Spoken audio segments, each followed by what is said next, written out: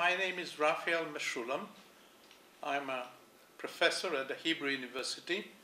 Uh, I've been there for many years. I've, I'm doing research on the chemistry and biology of natural products, mostly, but also of some drugs. There is no drug that ha- doesn't have side effects.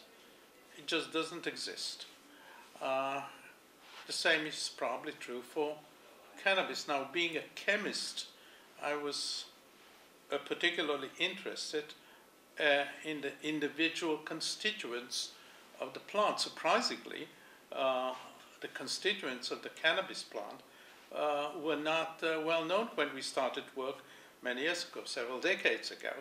Uh, the, the active, the psychoactive component of cannabis was not known at that time, surprisingly again, because morphine had been isolated from opium uh, almost 150 years before that, and cocaine about 100 years before that, and yet the active component of cannabis had never been isolated in pure form. So uh, my colleague Oni and I went ahead doing that, and uh, uh, we published uh, uh, the, the, compound, reported isolation of the active compound of cannabis, 1964, proved it, uh, elucidated its structure, and a little bit later also synthesized it, so it became available for uh, uh, research. Now, scientists like to work with a specified compound, not just with a mixture, because otherwise they, uh, it is very difficult to reproduce their results. And indeed, after 1964, there was a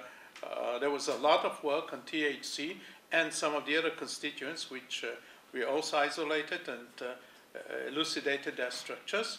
And for the next 20 years, there was a lot of work on these compounds, and much of the things that we know about uh, these compounds, the activity of these compounds, was done at that time. One thing was not known for 20 years, uh, uh, almost 20 years, and that was the mechanism of uh, THC action. Surprisingly so. Uh, people thought that maybe it has some kind of an unspecified activity, acts on a membrane or something, well, it turned out to be a mistake, actually. Uh, Allyn Howlett, um, uh, young uh, professor at that time of uh, uh, pharmacology at St. Louis, found that there is a receptor, which was later called CB1, and then a person in England identified a second receptor known as CB2, mostly in the periphery, but then at some point it also pops up in the brain especially neurological diseases. So now we are sure of two receptors that are present, and THC acts uh, on them and stimulates them and causes the activity when needed. Now, uh, receptors are not uh, present in the body because there is a plant outside there. They are present in the body in order to be activated uh, by something that our body produces uh, when and where needed. So uh, uh, we went ahead looking for the compounds in the brain and the periphery that uh, uh would activate these receptors. And in 1992 and 1995, we uh, reported the most important ones. One of them we call the called anandamide. Nanda comes from the Sanskrit name of uh, supreme joy.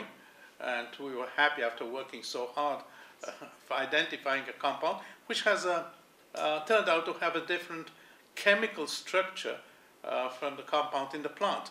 Rather strange, I would say, because the two compounds do the, exactly the same.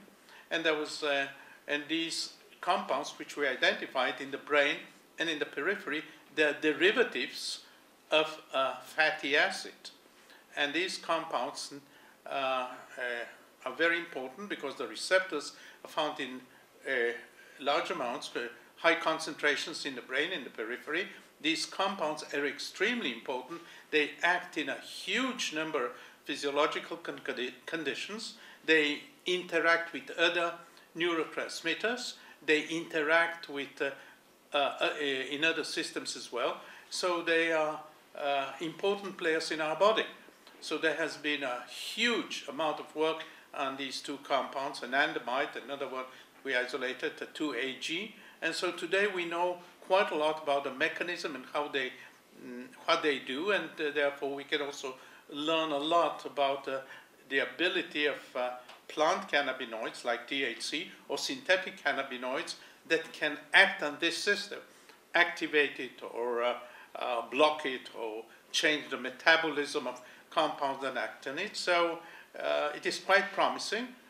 And chances are that we shall have drugs. We already have minor drugs, but I think that we shall have major drugs in the future that uh, act through this uh, particular system.